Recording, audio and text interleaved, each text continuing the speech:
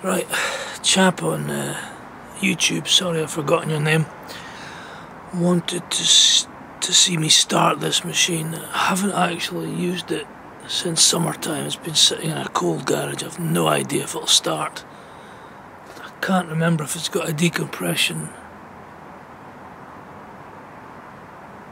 bubble or not. I can't see it, but let's just have a go.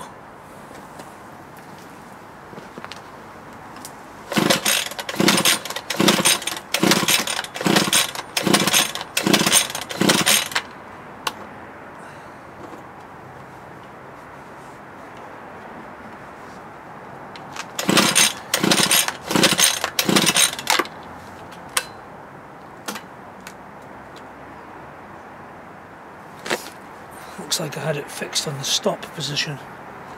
So that's not going to help, is it?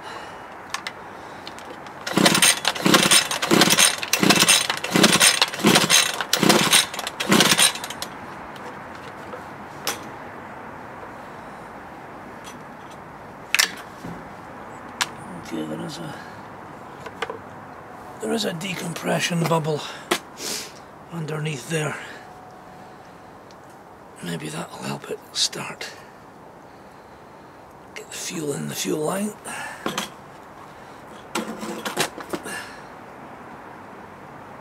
Pull to start.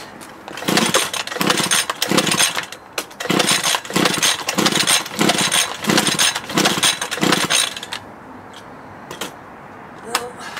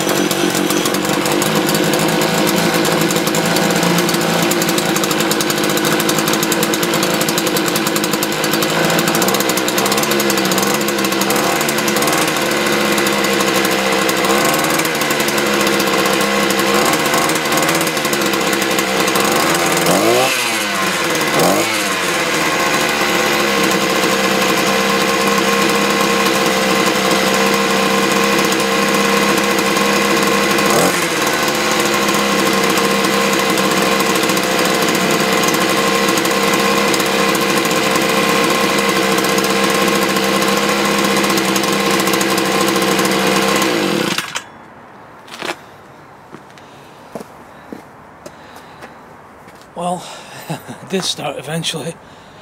You do have to do everything. Pump it, pull it, make sure it's switched on. And of course it is about, I don't know, pretty close to zero today. It's been sitting in a cold garage, so it's freezing cold.